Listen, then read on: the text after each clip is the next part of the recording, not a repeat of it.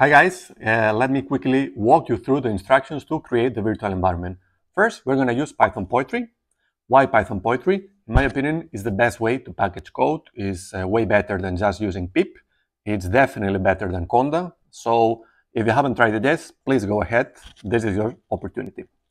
Uh, second thing, uh, after installing Poetry, you need to install all the dependencies.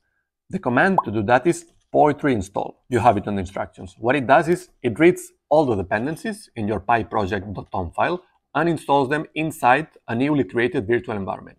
Once you have this environment ready, you activate it. For that, you run poetry shell.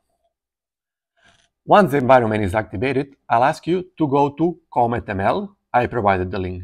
CometML is a serverless experiment tracking and model registry that we will use in this course is the one that I like the most. It has really cool features, as we will see, and it's free for individuals like you and me, so fantastic.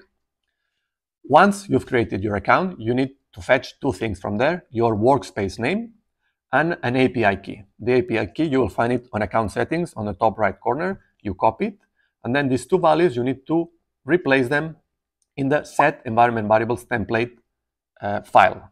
So you paste the two values, you rename the file, removing this underscore template, and then you run it.